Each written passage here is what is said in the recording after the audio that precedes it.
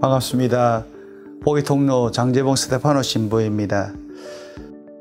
1990년 신학생이었던 저에게 요한 바오로 이제 교황님의 말씀이 강력하게 다가왔습니다. 로마의 젊은 이 대해서 들려주신 꿈 이상이 있는 자만이 역사를 이루어간다는 문장을 오늘까지 생생히 기억하고 있습니다. 그 말씀을 들으면서 과연 내 꿈은 무엇일까?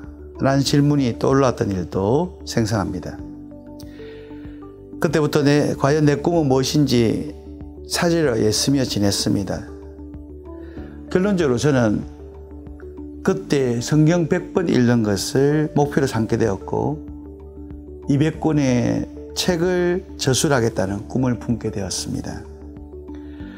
벌써 30여 년이 흘렀는데요. 성경 읽기는 거의 목표에 도달하고 있으니 목표를 이룰 수 있을 듯 한데 책 200권을 출간하겠다는 꿈은 이제 겨우 24권을 낸 편이, 형편이니 아직 멀고 멀어 요원하다는 생각이 들기도 합니다. 하지만 꿈은 이루어지는데 목적이 있는 것이 아니라 꿈꾸어가는 가정이 중요하다는 것이라는 위로를 삼고 있습니다. 스스로의 삶에 최선을 다했다면 주님께서도 분명히 칭찬해 주시려 믿었습니다. 제가 집필한 24권의 책 중에는 내지와 관련된 책이 3권 있습니다. 성모님 가슴에 달린 어여쁜 놀이개, 하느님께 바치는 성모님의 꽃다발, 그리고 레지오가 아이들에게 쉽게 다가가기를 원하며 적었던 성모님 할 말 있어요. 입니다. 이 작업은 제 스스로에게 뿌듯함을 선물했는데요. 어느 날 후나라는 말이 일본식 표현이라는 것을 알게 된 저는 후나를 도움 말씀으로 바꾸어 사용할 것을 제안할 수 있었기 때문입니다. 물론 순수한 우리말이라는 사실이 마음에 들었습니다.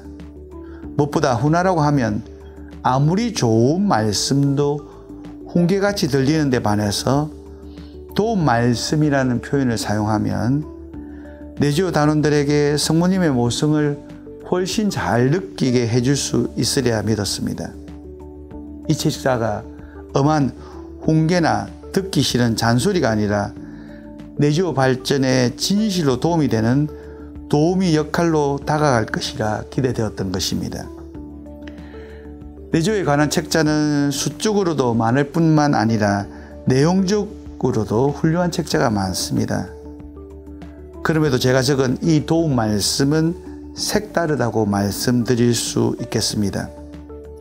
우선 어떤 이야기보다 교본에 충실하였기 때문입니다. 아울러 대지오 용사들의 모델이며 어머니인 성모님에 대해서만 말하고 있기 때문입니다. 그 내용 중 12가지 정도를 추려서 여러분께 들려드리고자 합니다. 짧은 시간이지만 저와 여러분께 감사하고 은혜로운 시간이 되기를 바랍니다.